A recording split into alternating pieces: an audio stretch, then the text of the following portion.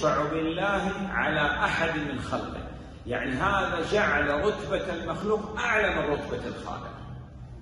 يصح أن الإنسان يأتي إلى المريض المريض يأتي إلى الطبيب يقول مريض تعبان لا إشكال هذا ليس باعتراف لأنه لابد يبين لمن؟ لمن؟ للطبيب يقول عندي كذا لا أنام الليل مثلا. هذا ليس بالاعتراف عن قضاء قدر مفهوم؟ أما أمام الناس يقول أوف وتعبت وكذا لا.